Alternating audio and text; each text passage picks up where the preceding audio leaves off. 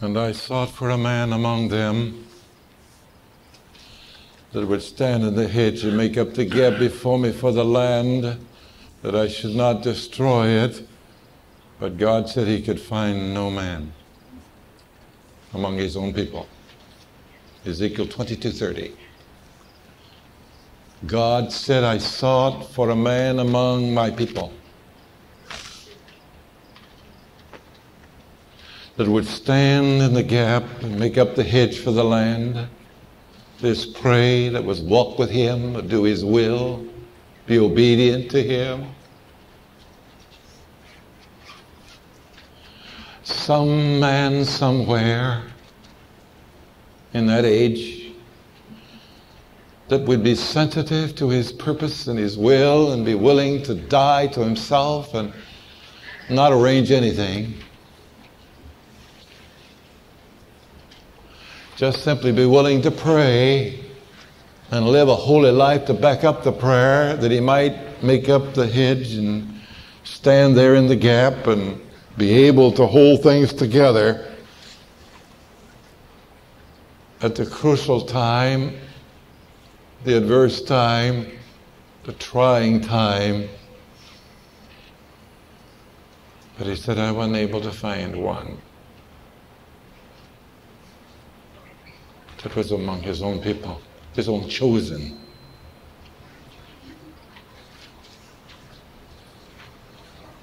And I sought for a man among them, God said, that would be faithful and obedient and do exactly what he wanted them to do.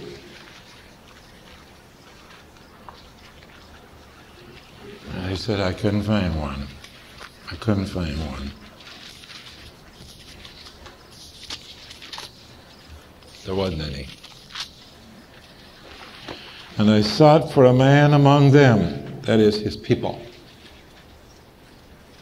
the religious people,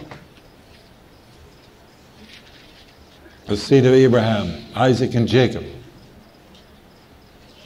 I sought for a man among them that should make up the hedge and stand in the gap before me for the land that I should not destroy it. But he said I couldn't find one.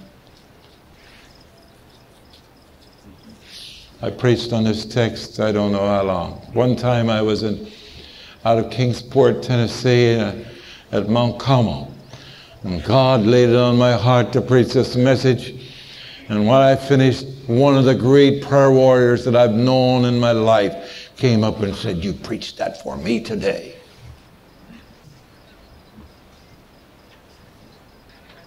And I sought and I looked for someone among my people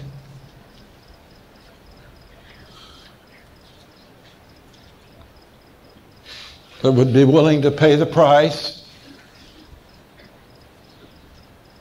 to make up the hedge.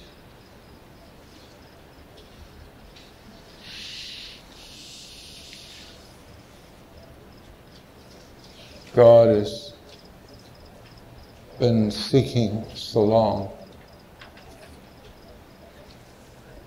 Among the religious people. In all parts of the earth. That he could depend on. Would stand by his word and be faithful and making up the hedge. The hedge has to grow, and the hedge is in a line. It has to be straight. It must be upright, it must grow and flourish. And he said, I've, I've sought for a man or a people or a person from among the believers among the followers that'd be willing to make up the hedge, do some planting, some growing, standing against the winds, holding fast at the pressures of evil that come up against it and push through to try to see what can be done to break it down. said, I was trying to find a man who was willing to pay the price to get the hedge up. And he sought and he searched and he looked. Make up the hedge by assuming the responsibilities of dying and giving all over to God without smiting the rock.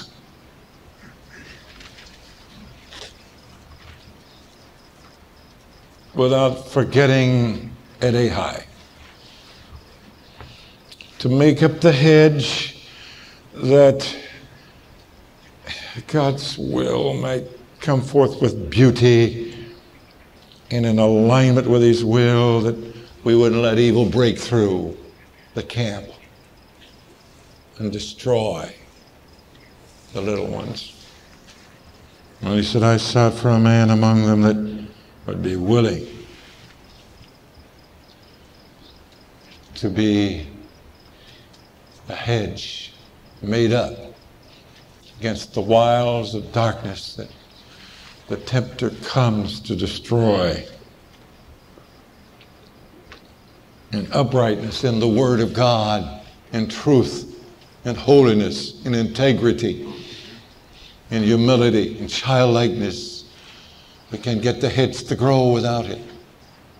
This hedge is much as there is within us as we become childlike, genuine, and true blue.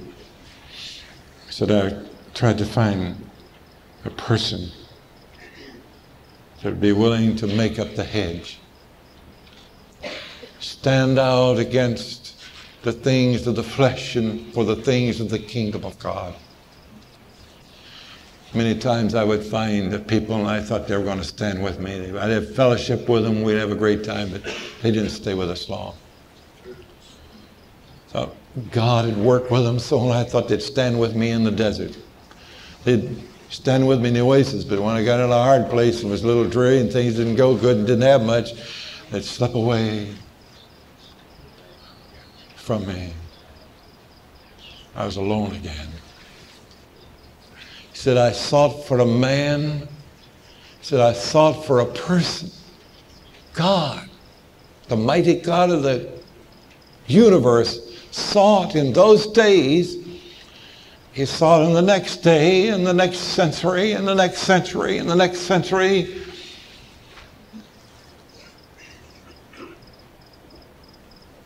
So he sent his son, and he stood in the hedge and made up the gap.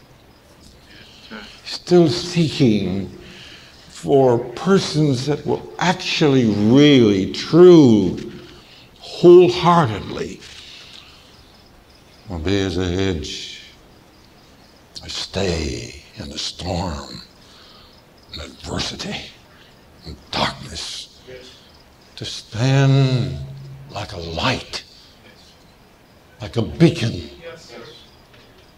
but in humility, in purity, not in fanaticism, but in his likeness. And I sought for a man among them that would be willing to make up the hedge, assume the responsibility, assume the place, the calling the purpose. The shield. It's like a shield. He Said I tried to find someone like that in my people. And then furthermore, I desired that they'd stand in the gap. That's where there's no hedge. That's where there's not much of anything the gap, you know, you stand there and, and it doesn't break through. You hold it up. He's trying to get someone in the hedge, build it up. He's trying to find someone to stand in the gap. Isn't this a message? All I have is the word here. He was trying and has endeavored through the ages to find men, a man, a person, that will actually do His will.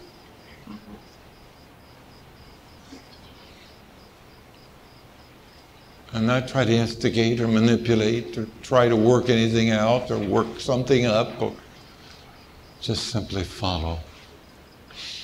He said, I, I sought for a man among them that should make up the hedge and stand in the gap before me for the land. That's for the people.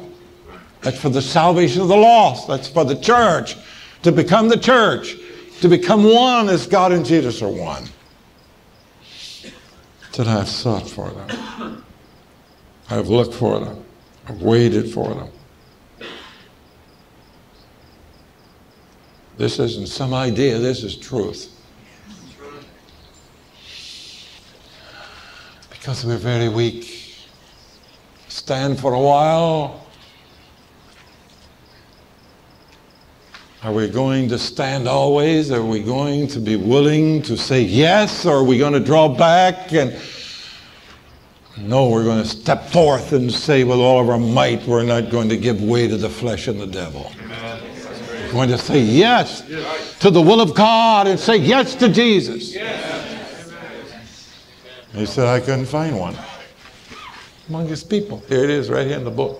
I didn't write it. It's written several hundred years before I was born. And see, I have to die up morning to night in order to qualify and to do what the Lord would have me to do from morning to night. Just like you. There's no difference. And he said that would make up the hedge. I said when our twin daughters would get in the kitchen and leap and yell and jump to try to become cheerleaders without the team. And I'd see such enthusiasm and such earnest dedication. And oh, they thought it would be so great if they could ever be cheerleaders. I thought if I could find some man with the same enthusiasm, the same interest, the same joy, the same glory and power that would get all out for God, I believe we can make up the hedge and stand in the gap. Amen. But he said, he in this case, he said he wasn't able to find any. So I've trusted that there's several here that'll not fail. And we're just awfully weak, you know. When we think we're strong, we're not. It's when we know we're nothing. That's the only time He can use us to make up the hedge and the gap. This hedge not made up without quite a bit of prayer. And also devotion and sincerity and honesty and the love of the Word and the love of God. And we can't get the hedge made up if I do not love my neighbor as myself. Right. And if I don't love every one of my enemies as I love my friends, I'll never get the hedge made up. The only way I can get the hedge in is to love my enemies as I love my friends, and I can't do that because carnality will not allow it. It has to be cleansed out to get this hedge put up there. It's got to be cleansed out so the love of God can come in to give me the strength to get the hedge made up. And it comes by loving my neighbor and my enemy. Jesus said, Love your enemies. And a man can't love his enemies in himself because carnality won't allow it, it won't permit it. But when carnality is cleansed out by the blood and by the power of the Holy Ghost, the power of the Holy Spirit can come in if he can find the man that's willing to pay the price, yes. which he seldom ever found in the ages. And some would start, but they get fanatical, radical, or they'd get off somewhere fail someplace or get to thinking they were pretty good and say, I'm really something. I can do something. Well, I'll show them. And then everything goes down. The hedge can't be made at all. He just wipes it out. Said, I looked, I sought if I could find someone. See, this is the Bible here. If I could just find a person that would make up the hedge and Stand in the gap. But we can't stand in the gap if we're wishy washy and if we let some of the crowd sway us. If we're just looking for blessings. See, so many people are just looking for blessings and signs, and, and that's what they want is blessings and signs. They're not willing to go through the fire and be, they're not willing to be thrashed and then broke up and crushed in the jaws, and separate the chaff from the real and put in an oven and baked and killed and has made us bread to feed the world, make up a gap like that.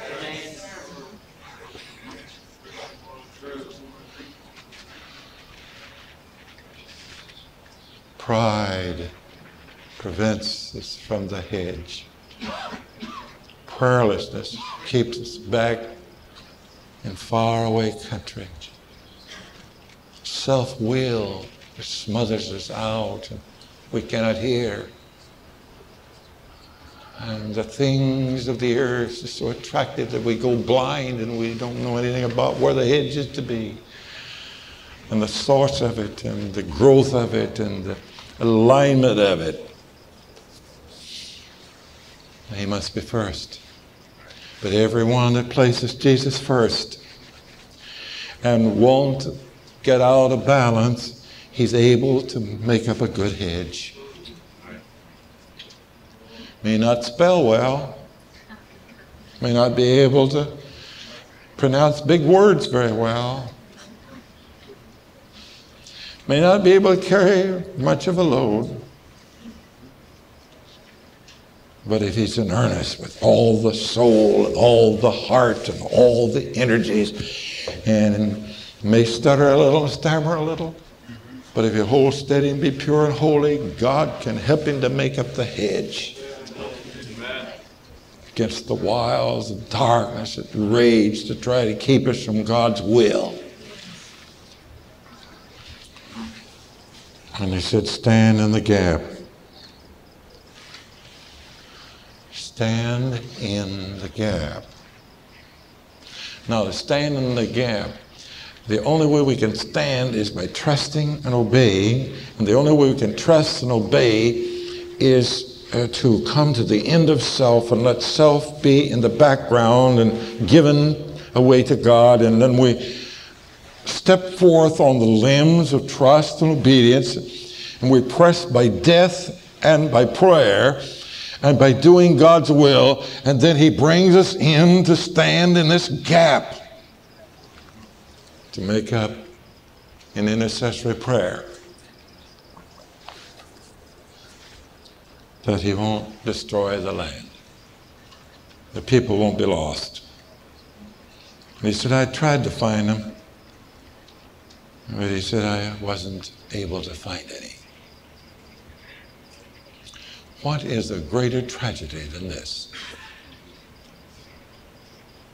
That God uh, that has made the universe and he's hardly been able to find a person in an age that's willing to really let God lead them. Not try to work anything out or up or around, but just simply let the Holy Spirit lead. Oh, that really gets in my heart with power. Is this getting in your heart like it is mine? Now, if you're in the hedge and the gap, you're awfully happy. At least you're encouraged. Yes, you're sir. encouraged. Yes, sir. Wonderful. And you're striving because you love your neighbors yourself. And you're so happy you want everybody to get what you have. They can't have it, but they can have something just as good. And you are determined to put the kingdom of God first and let Him lead, then He's going to work it out and help us to make up the hedge and give us the strength to stand in the gap so He won't be disappointed over man. Oh, that hurts my heart. Oh, if that gets in your heart like mine. Can you tell that? Are you able to tell that in the Holy Ghost?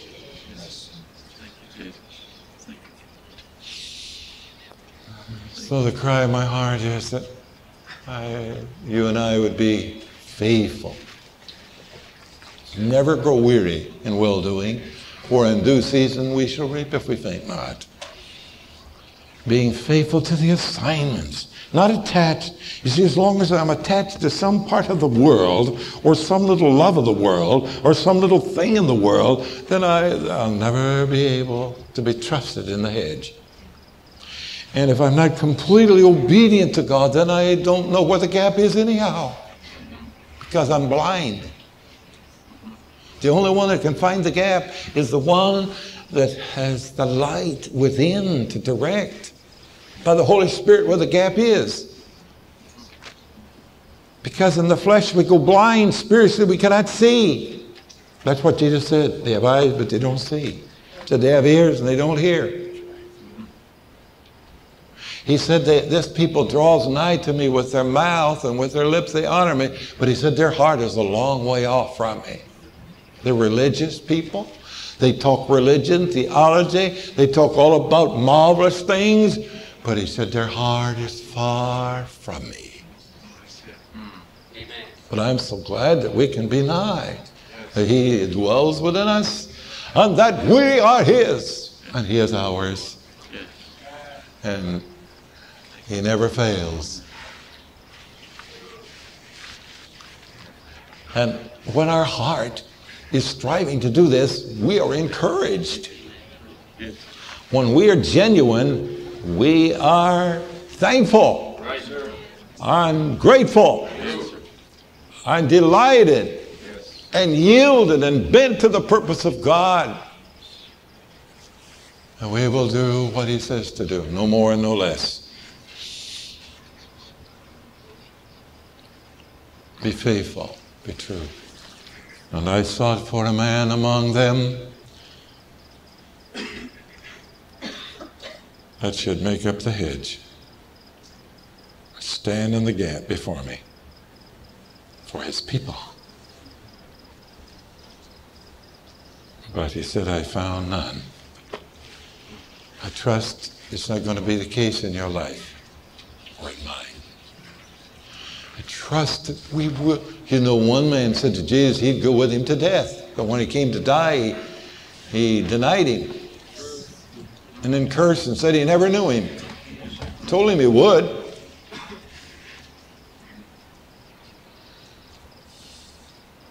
And he sought for someone that would follow and do God's will completely and entirely and always do God's will and not our own.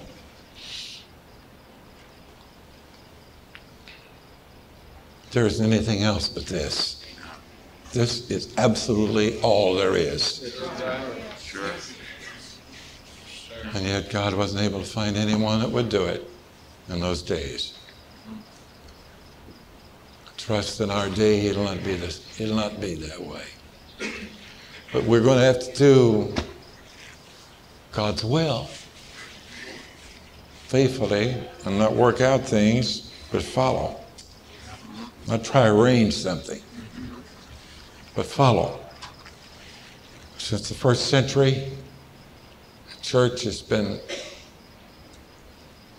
likely to follow by boards and councils, by men talking it over. So when the Holy Spirit leads, He gives the revelation of what God's will is. And we have to die to get that. Himself doesn't want to do it, so we, we bypass it and have a council. And we have boards and we talk it over. See, the Holy Spirit knows where the hedge is. The Holy Spirit knows how to make up the gap, and we must follow by the guidance of the Word, the Holy Spirit. And all else is going to be lost, and every man in this place and every woman, you'll see it just instance before death. You'll see if I could have only heard it. Now, most all of you, I know, want to hear what I'm saying. Most of you. 90 some percent, I believe. But you see, the vast majority don't know anything about what I'm talking about. Unless the Holy Spirit reveals it. Now, if the Holy Spirit reveals it, then we get in on it by God's grace. And I trust that we will not let our flesh the carnal nature that touches me, defeat us from doing exactly what God says. So that when the book is written after a while, it won't be that verse about us. Because unless we die to self and obey, that's what it'll be. Unless we follow, unless we're all for God, completely for Christ. And when this occurs, the kingdom will come. The kingdom. And when the kingdom touches the earth, he'll draw all men to him. He changed men of all types and kinds with great power. He will change them. I've been privileged to stand before God in the Spirit that if the presence were to come and stay a while, I know it would change all atheists and infidels in just a short time. I know that. Yet I know nothing other than I am needy and that God is able. So this verse has been on my mind today. While I was crying out, I see that. Oh, it's touching me now. So I praise Him for your heart that's crying.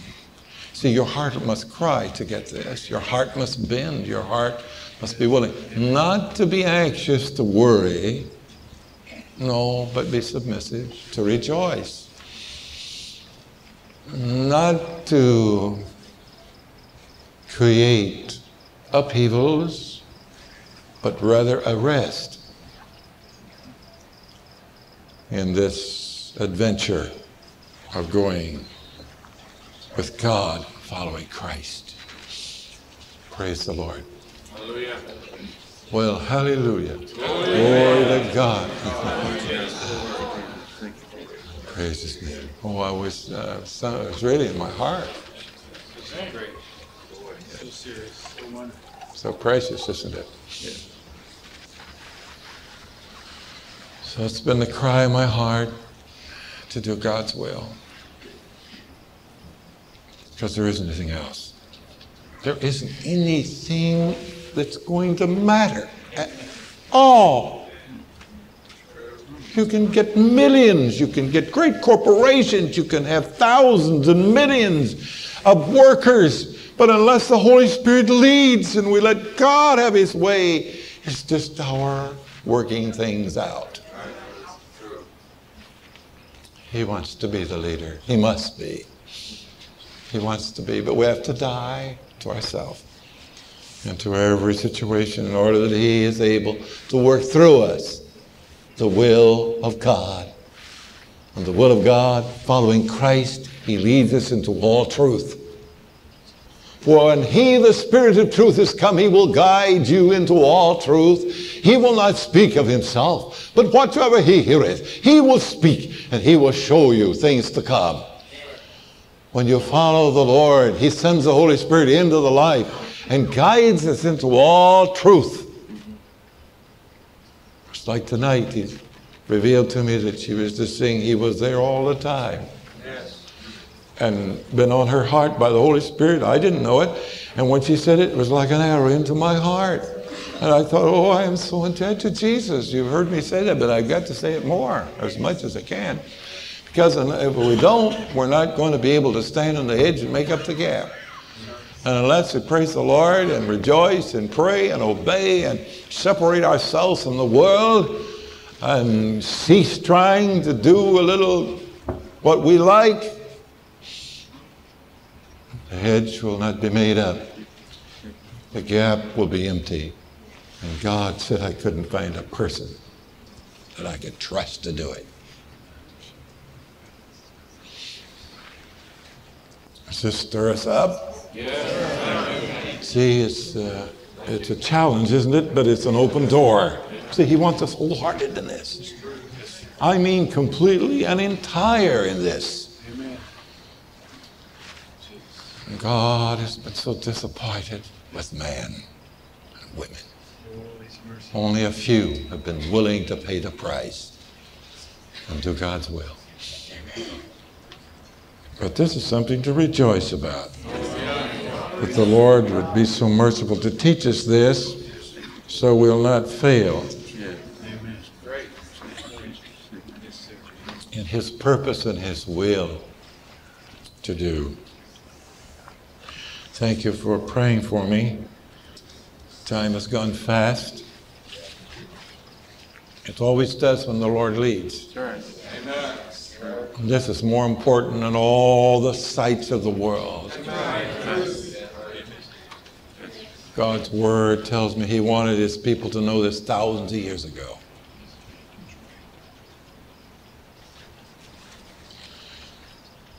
And I praise Him tonight for all of you and for His presence here. I need Him more. I need Him much. Hallelujah.